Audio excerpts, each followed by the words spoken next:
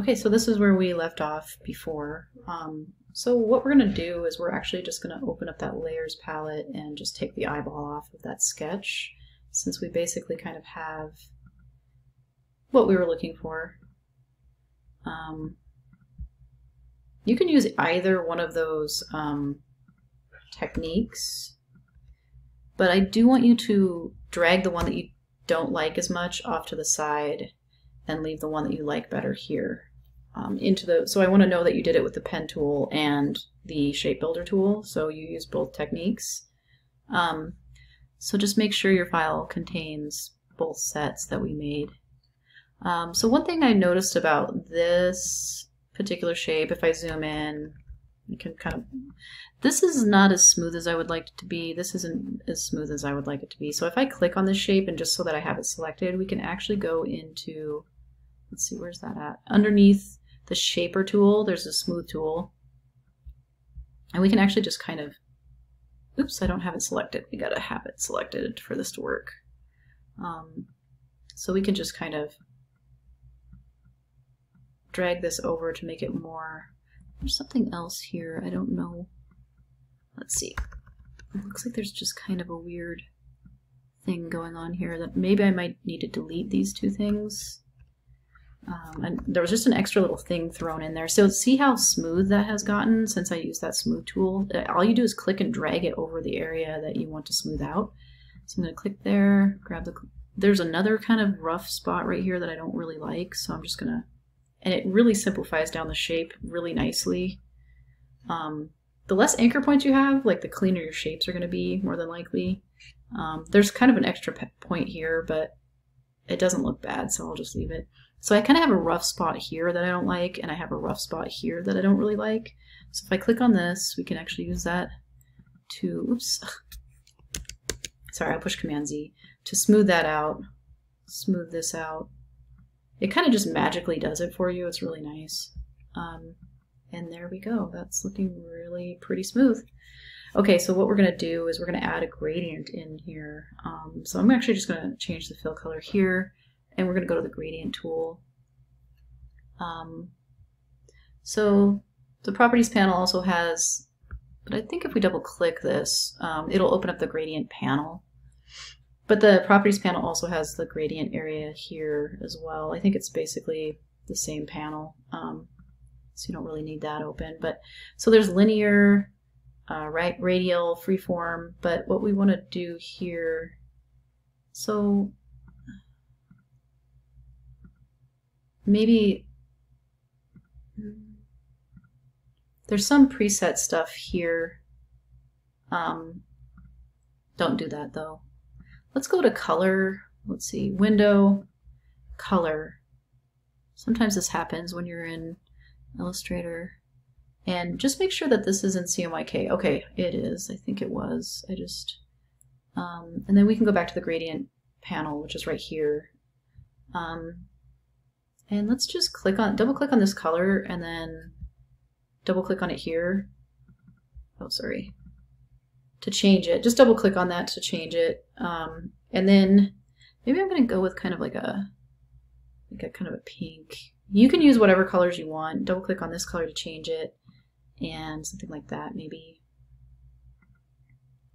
Maybe something a little bit more green.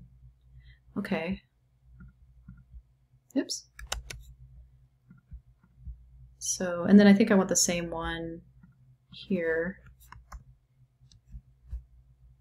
And then what we're going to do, I think I want to, so we'll do a Command C, Command V, and we'll actually kind of create like the same shape, but we're going to bring it out a little bit. And then we're going to um, reverse the gradient by pushing this on the new shape that we've made. And then let's just do an object arrange sent backward. Or object arrange maybe just sent to back, which will take it all the way to the back. Okay, so I kind of left off like somewhere around here. I was kind of dinking around for a minute there, but so if we click and drag and get both of these things selected again, what we're going to do is we're going to kind of zoom in because there's actually a place up here that I don't really want. There's some, there's this shape is like popping through, the lower shape is popping through, and I don't like that. So let's make sure we have both of our shapes selected by clicking and dragging over both of them. We're going to get back on that shape builder tool. And then we're going to push um, option, which is the minus, so we can subtract shapes. And so if, if I'm holding down option and I click on this, I can actually get rid of that really quickly. I'm zooming out now, command minus, and just kind of looking around for if there's anything else I want to. So we might want to delete this too. Or wait, no, uh, option, delete. Okay, so that is looking good. So we want that we want our, our shapes to look like that. And we're going to do like a similar treatment to this down here. Command C, Command V, and then we will reverse the um, gradient, kind of offset it a little bit, object arrange, send to back, or send, yeah, to back. And then, I don't know, I might actually tweak this just a smidge. Maybe a little bit more like that. And then we'll get both of these again and do a similar process. So we're just going to hold down Option, delete that, and delete this. Just to clean it up a little bit. That's looking pretty good. Um, I've actually got an extra point here that I'm not really liking, so I'm going to actually smooth that out further. It just looks a little, I don't know, I don't really like the way that it's, eh, I don't know if that helped at all, but anyway, there's kind of a little bit here maybe that I might want to, I don't know if that's going to help or not, but all right, that's looking pretty good. So if we minus, if we zoom out a little bit, command minus, that's looking pretty close to the way we might want it to look. This is the lower shape. We can actually kind of drag over, you know, more or less if we want to change that. It actually is working out really well, um, just kind of being right in the middle though. Um, but yeah, that's looking pretty close to the way we want it to look. I might actually grab both of these and then like wait till I get to the twisty so I can get those arrows and twist it a little bit so it's a little bit more stacked. Um, and then we can, you know, so this would be the mark of our logo, and we could actually add text to it too, like um, fireside stoves or something. And then we can work on adding text to it. I mean, you don't have to necessarily do that, but I'm just saying this would be the logo mark that we would create, and then we would probably add in some sort of text you know, somewhere with this. And this actually looks like an F, which is great. Um, you know, so all I'm going to have you do for this tutorial is literally, you know, this, and I want to make sure you did it with the pen and the shapes and the shape builder tool. But I'm just saying, like, typically, if you did make this mark, you would actually probably add um, some text to it that would go underneath of it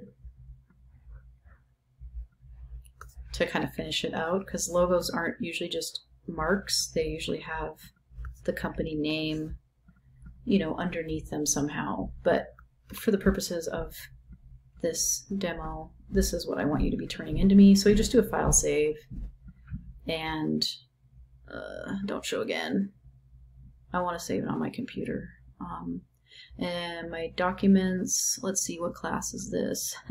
350, graphic design 2, so new folder, um, logo, follow along. Eh.